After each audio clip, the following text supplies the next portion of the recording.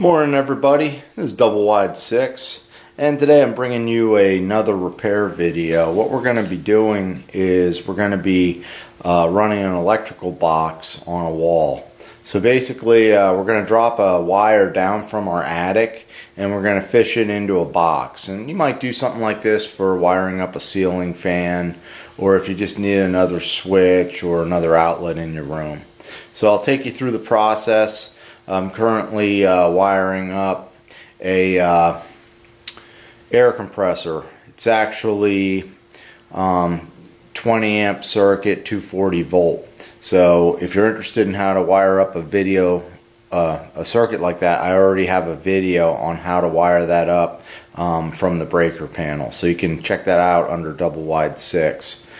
Alright, so we'll take a look at this next. So here's the corner where we need to put our outlet. There's already an outlet there, but that's not 240 volts, so we can't use that. We're going to drop another one right next to it. I'm in my detached garage. Up here is an attic, so I can kind of sneak through the roof, and basically what I have to do is uh, drill a hole and uh, fish a wire down to our hole. First thing we're going to do is mount the box. So I'm just going to be setting up a plastic outlet box. If you take a look, this box has these like tabs on here. There's one on each end. This box is made to attach to drywall. You don't have to attach it to a stud. So that makes it real easy. You don't have to find a stud. Um, I already know where the studs are. There's one right where this outlet is. And I don't want to put this box right above this outlet on the stud because uh, I know that there's a wire running down that stud and I'm just going to stay away from it. So it'll just be easy to use one of these boxes and I'm probably going to put it up here a little bit, about a foot up, and I'm just going to center it in the stud bay like that. Alrighty, so uh, our first step here is going to be to get a nice level line for the bottom of the box. So I'm taking my speed level here and we're just going to mark the wall the nice dark line. Next step, we're going to get a vertical line that's perpendicular to that. So pick a spot and line it up on the level and get that perpendicular line. And then from there, we're going to trace the box. Alright, so we have those first two lines. So we're just going to take the box and the lines might look a little crooked on the camera. It's because I have the camera on a little bit of an angle. So I'm just marking the different parts of the box like that. And then we're going to take that level and we'll sketch around that perimeter.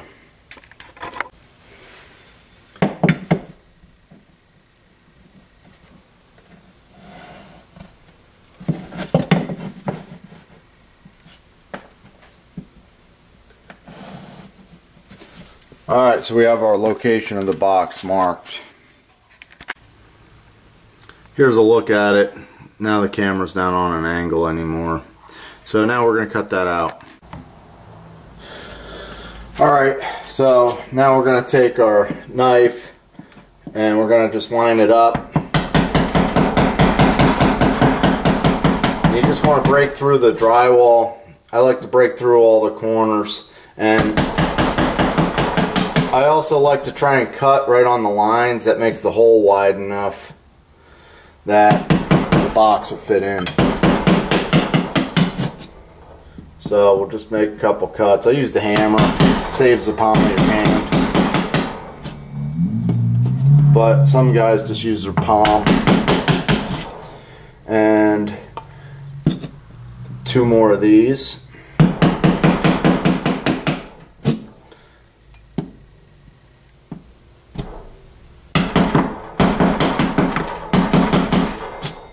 Alright, so now that's ready to cut.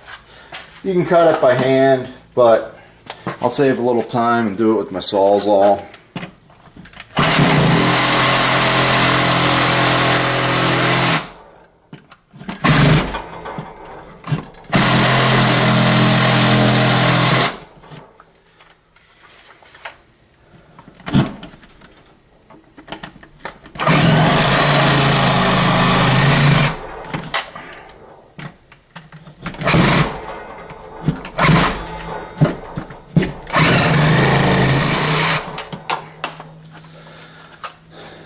You go, we're through.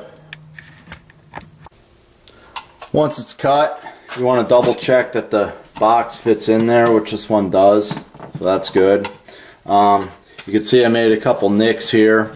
It's no big deal because I'm just working in my garage. Obviously, if you're working in your house, uh, you'd have to spackle those. So you might want to cut these out by hand and not use the Sawzall. Plus it makes a lot less dust. Alright guys, right now I'm up in the attic and I've located where I need to drill a hole to push our wire down into the stud bay. So I know it's hard to see because it's kind of dark up here, but I got my drill and I'm using a spade bit. And we're just trying to drill a hole.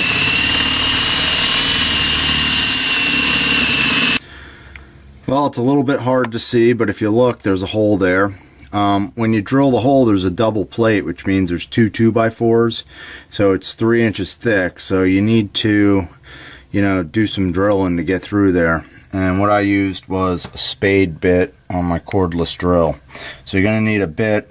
Um, I let, I'd like uh, to use a bit at least an inch in diameter.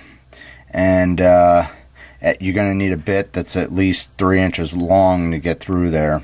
So this bit's about six inches long. There's a couple different tools that you can use for uh, snaking your wire down there. This is just a wire snake. It's only about an eighth of an inch thick. This one generally works really good for running wires like underground through a pipe. Okay, it's pretty thin and it kind of goes all over the place in a stud bay. So I'm going to actually be using something else. But this will work especially if you use one that's like a quarter inch or three eighths of an inch. They work pretty nice for this type of job. This tool here comes from Harbor Freight. It's item 65326 and it's basically 3 16th inch fiberglass wire running kit 33 feet. Um, I'll show you how this works. This is what I'm going to use for the project.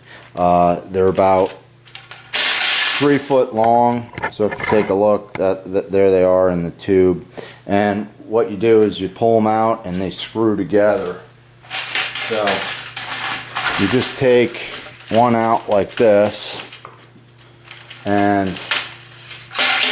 first of all they're hard they're pretty rigid and they're also pretty flexible.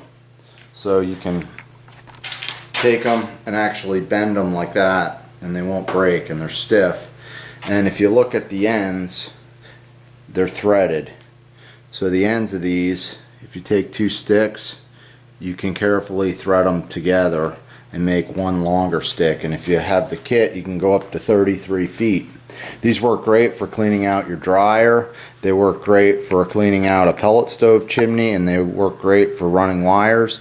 And they're good for doing those like can lights in a ceiling you can run wire from light to light real easy up over rafters and things like that if you can get above them.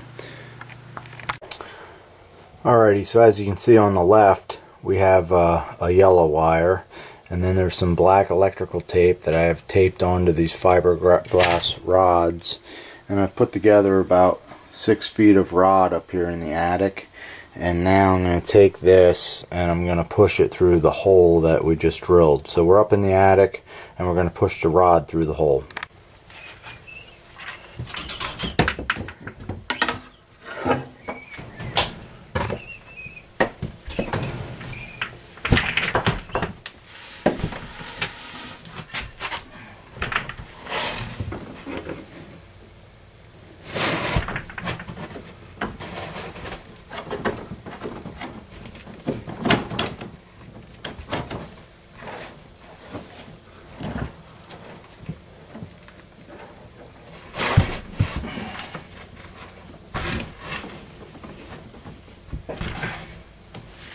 Alright, so we got the stud down in the, or the wire down in the stud bay.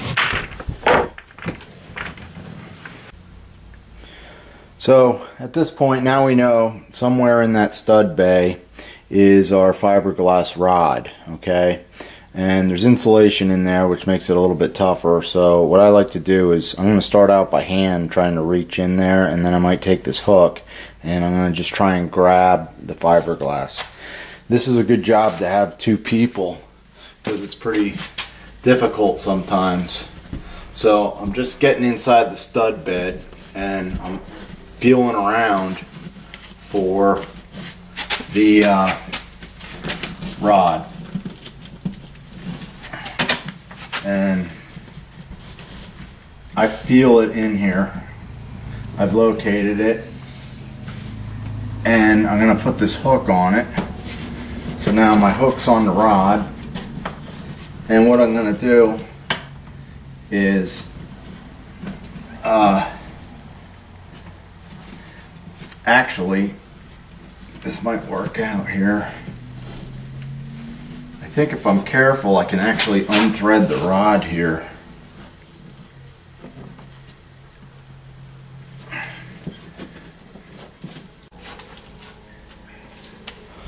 So I'm going to try some needle nose pliers and just try and unthread the bottom piece of this.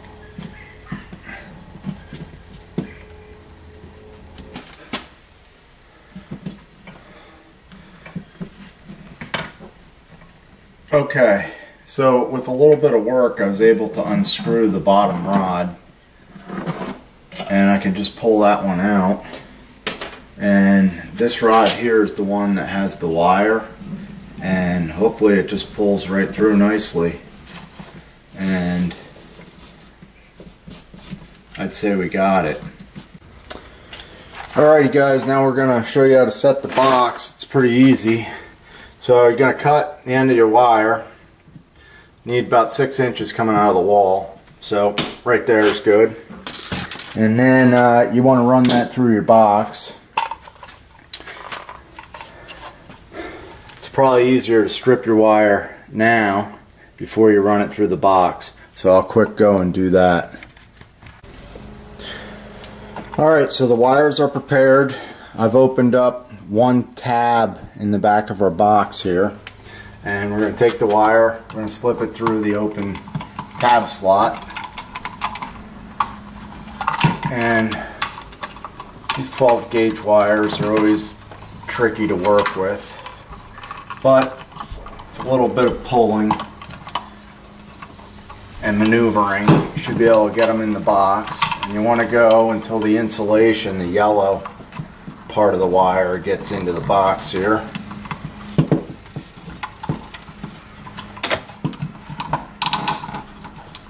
And once that insulation's in the box we're going to need a pliers. I got to pull the wire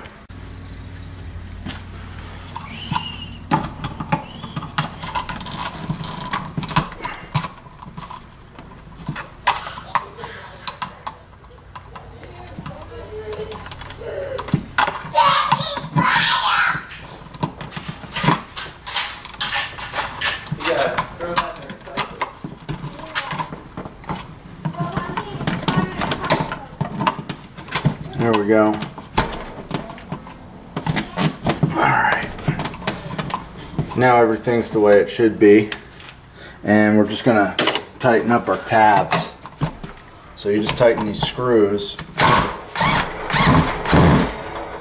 One, two. And that's all it takes. To put a box in the wall and now we can hook up to our air compressor. Alrighty guys. This is double wide 6 I did all the wiring here. And you can see uh, I went from a yellow 12 gauge wire to a gray 12 gauge wire. And it's tied into that outlet right there with the wire clamp. So there's a connection behind there. Um, and everything's done and uh, should be working so we're gonna back out here I've already hit the breaker and we're gonna hit the switch and see what we got